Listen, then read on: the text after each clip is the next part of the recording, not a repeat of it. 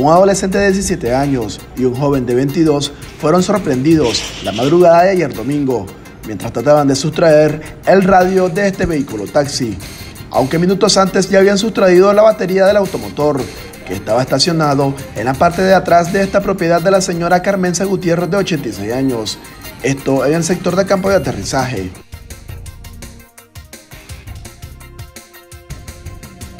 A las 5 de la mañana fue ayer domingo. Estaba metido aquí en mi casa él, a las 5 de la mañana.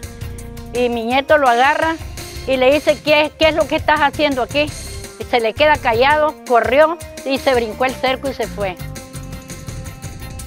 Yo me vengo a asomarme al carro porque el venía desvelado, venía de cuidar a, mi, a, mi yerno que está en el hospital grave y el chavalo venía desvelado y él no viene a asomarse al carro sino que yo me vengo y miro que el carro está desmantelado que el carro no tiene, el, ya le había sacado la tabla, el, el radio, y ya, el hijo mío se levanta en donde le digo, José, José, levántate.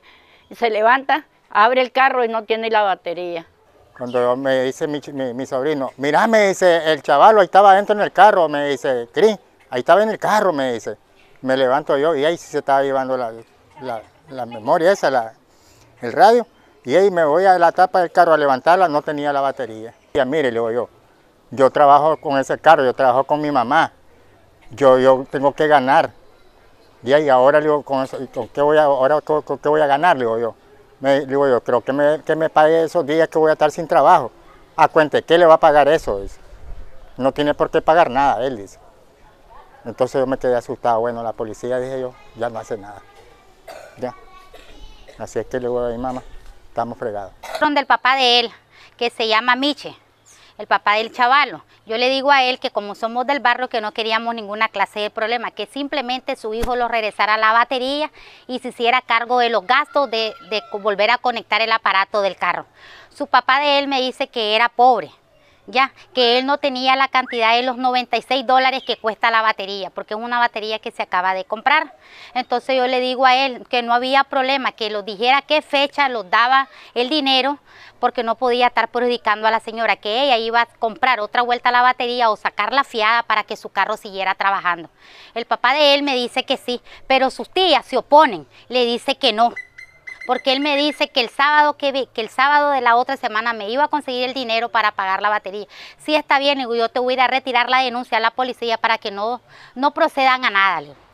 Él me dice que sí, pero después él, sus hermanas le dicen que no, entonces queda así. Quien lo encuentra aquí adentro es mi sobrino, que viene del hospital de cuidar a su padrastro, y le dice, ¿qué estás haciendo aquí adentro?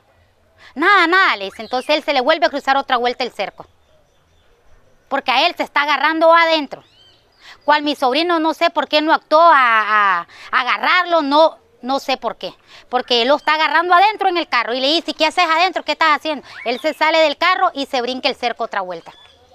no hay duda que fueron. Sí, no hay duda porque se está agarrando adentro en la propiedad y lo está agarrando aquí adentro. En eso mi mamá abre el portón y sale para afuera y hay todavía uno de los ladrones sentado en la cuneta y le pregunta, ah, le dice, vos también estabas adentro. No, le dice, el que estaba adentro e-, era, era Christopher. Yo estoy aquí esperando 50 dólares que me van a traer. Este vehículo, que fue comprado hace poco por la venta de un terreno, es el sustento de la señora Gutiérrez y piden a las autoridades policiales investiguen este robo. Yo le pido a las autoridades que me ayuden, yo soy una vieja, yo paso de mi carro.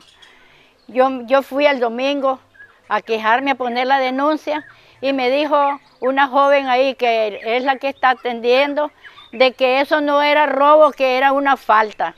Entonces le dije yo que como no iba a ser un robo, cuando se me estaba llevando el radio y se me llevó la batería, que no era un robo. Que no, podía, que no podían actuar porque no era, no era un robo más de 13 mil Córdoba. Porque si ha sido un robo más de 13 mil pesos, sí podían actuar. Entonces le digo, para usted entonces ¿qué es? No es un robo, le digo. El niño, el muchacho tomó la batería prestada, ¿cuándo la va a regresar? Le contesto yo a la oficial.